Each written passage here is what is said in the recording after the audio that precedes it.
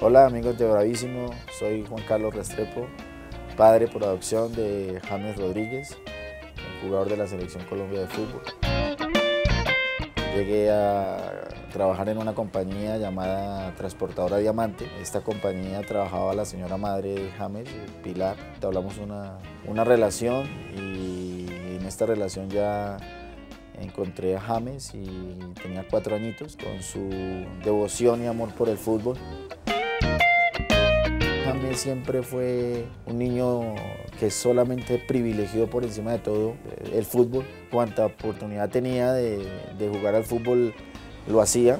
Le inculcábamos mucho con, su madre, con Pilar, que nos ayudara un poquito para poder compaginar eh, el estudio con el deporte, porque él privilegiaba el deporte, pero sabíamos nosotros que, había que tratar de inculcarle un poquito el estudio y entonces, a pesar de que era más bien complicadito, decirle que no, le, que no privilegiara la pelota por encima de las tareas, por lo menos eh, logramos llegar a un acuerdo de que cumpliera y que hiciera sus tareas como, como un niño normal.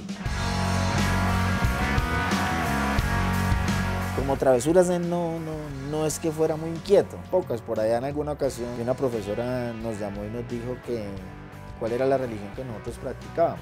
Entonces yo le dije, no, nosotros somos cristianos, nosotros vamos a la religión cristiana normal. Entonces le pregunté por qué, porque es que James dice que todos los días a las 10 de la mañana le toca que meditar. Yo decía, pero meditar era con un balón debajo del brazo. Si estaba dentro del apartamento y, como siempre habían pelotas por ahí, uno escuchaba por ahí, ¡pum! la pared. James, hermano. Volvía por al rato, que otra vez. El balón, siempre el balón. Entonces eh, era eh, más que nada ese tipo de cosas las que hacía, ¿no? Entonces nosotros le decíamos, bueno, se va con uniforme diario y en el maletín lleva los tenis, hermano. Para que cuando salga el descanso se quite los zapatos del colegio y se ponga los tenis y juegue con los tenis. A veces me han acabado con los zapatos de diario, con los zapatos de los técnicos, de todo. Ahí no había nada que hacer, era mejor no decirle nada. En algún momento Pilar, eh, por colocar una disciplina y, por colocar un límite a una falta o inculcarle otra actividad que tenía que hacer, eh, le suspendía el balón, por ejemplo. Entonces, entre ella y yo fuimos aprendiendo que, esa no era la forma.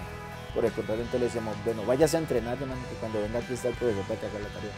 Entonces él pensaba que cuando se iba a entrenar iba a volver y ya no tenía que dar tarea, no. Tenía que llegar, bañarse, ducharse y sentarse a hacer la tarea.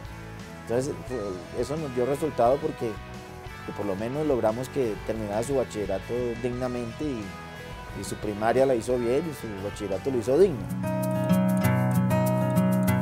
principales regalos que James me ha dado, me los ha dado con reconocimientos. Hoy me acuerdo cuando en el Pony Fútbol James tenía 12 años y cuando queda campeón y, hacen la celebración, entonces le hacen una pregunta. El periodista le dice que, a quién le agradece.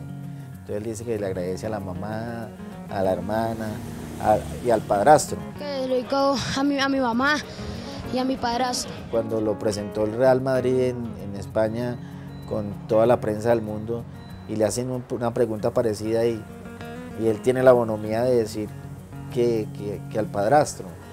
Esos son los mejores reconocimientos que le puede hacer a uno un hijo.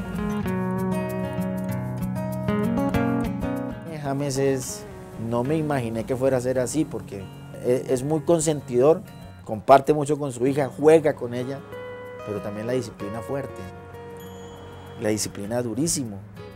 Entonces, digo, wow, nunca me imaginé que fuera a ser... Eh, pero entonces, pero entonces si uno se devuelve a lo que uno hacía, entiende uno por qué es él así.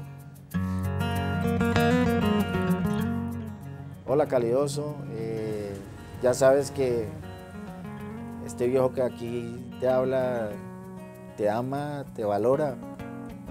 Eh, sabes que me siento muy orgulloso de ti, de todo lo que has hecho, eh, todas las satisfacciones que me has dado. Eh, como, siempre te, como siempre te he dicho, te mando un gran abrazo. El Señor te cuide Y Dios te bendice. Hola amigos de Bravísimo, eh, un saludo.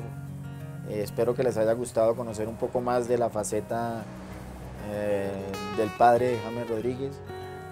muchas gracias a Bravísimo por su invitación. Les dejo un saludo. Dios les bendice. Éxito.